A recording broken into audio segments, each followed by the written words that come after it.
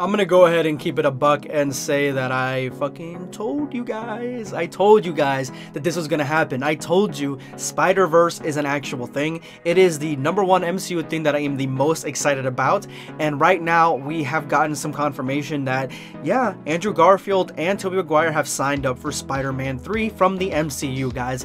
This is ginormous news, guys. This is huge because these are two characters from different franchises, different Spider-Man franchises all coming to a head in a perfectly balanced Spider-Man 3 for the MCU, guys. I cannot wait to see exactly which direction this goes because now they've opened Pandora's box. You can have the X-Men, as I said before in my last video, because I just talked about Doctor Strange joining, but now we have the three main Spider-Man in the movie and some spoilers, potential spoilers. It's not 100% confirmed yet, but these are potential spoilers as to what the plot is. So I'm going to jump into it. Hopefully hopefully you guys don't mind. Let's go ahead. So basically, the two old Spider-Man alumni are supposed to jump into the movie Spider-Verse at the end, toward the end of Spider-Man 3, and they are going to help Peter fight all the villains from the previous Spider-Man movies and the new ones, plus a couple of new ones added to this movie.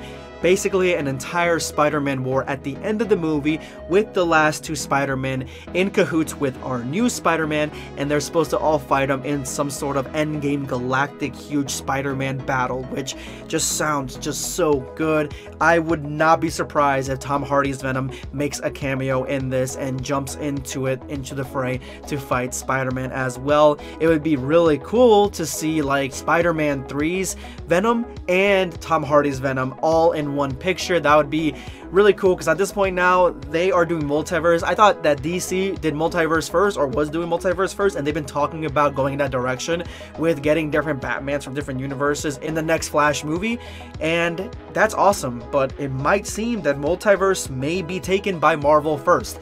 They seem to be jumping into the Spider-Verse aspect.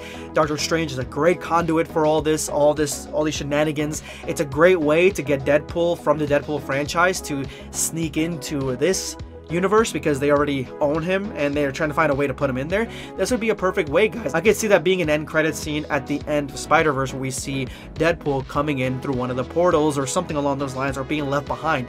That would be so freaking cool, guys. I cannot wait to see exactly what happens and these three are completely different Spider-Man and they're going to have completely different interactions with each other and I just can't wait for Tobey Maguire to dome the suit yet again for the first time in years, guys. I watched the original Spider-Man in theaters. I was a little kid, and it was phenomenal back then to see really the birth of the modern superhero movement, essentially. That's what it was.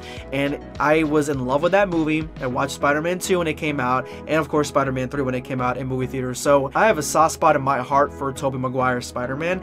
Now, Andrew Garfield Spider-Man, I like Andrew Garfield a lot. I liked how he was Peter Parker, even though he wasn't the Peter Parker that I wanted, but I liked him more as Spider-Man. He was more quippy, he was more funny, and so I think that he is going to play very well with our boy Tom Holland Spider-Man. So this is huge. I hope they make a brand new Spider-Man with Miles Morales and have him jump into the fray as well, maybe even Gwen Stacy, and have basically the best Spider-Man storyline from the 90s cartoons where we get all the Spider-Man from different universes, basically what they did with Into the Spider-Verse in live action format. It is going to be so freaking cool. I cannot wait to see this, guys. Let me know in the comments below how stoked and how hype you are for this information. And if you like anything that I had to say, make sure to hit that like button. Helps us out in the algorithm and subscribe for more content. This is going to be Sunscape signing off. Take care, guys.